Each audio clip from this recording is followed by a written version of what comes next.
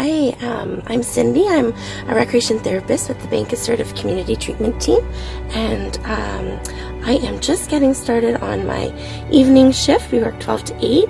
Um, the ACT team is a 24 hour, Um, 24 7 support team, and so we always have somebody available in the evenings and on the weekend. So I'm working this weekend, and the weekend starts on the Friday, working 12 to 8. So I'm just about to head out and see my first client.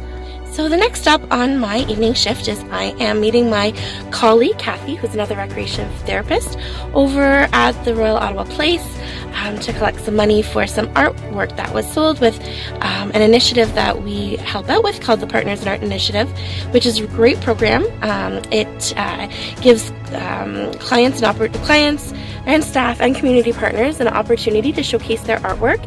Um, they submit it um, on our Call for Art days, and then we display it in the Winter Garden.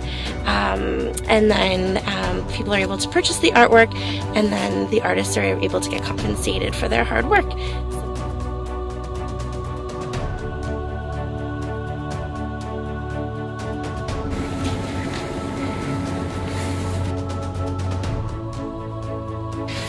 So now I'm going in to celebrate one of our co-workers um, got a new job over at the Royal, so we're gonna have a little celebration, you know, really needed after these long two years that we've all had.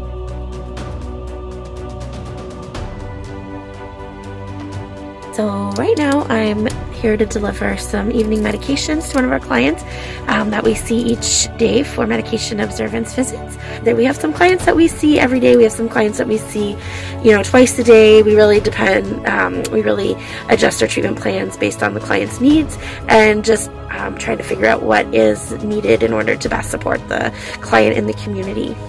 I'm just walking to the client's place now. We do have a lot of uh, we do keep safety in mind. It's really key. So we do have a process that we, you know, check in with um, a designated team at the end of our shift just to make sure that um, they know that we've gotten home safely and um, that everybody is, you know, back home for the night. So just heading out now for my weekend shift. It's 9.30 on Saturday morning. It was a bit of a long night last night. I got a couple calls on the on-call at 1 o'clock in the morning and 6 o'clock this morning. Um, but uh, hopefully it'll be a quieter day today. Have a few med deliveries to do and we'll just see what the day brings.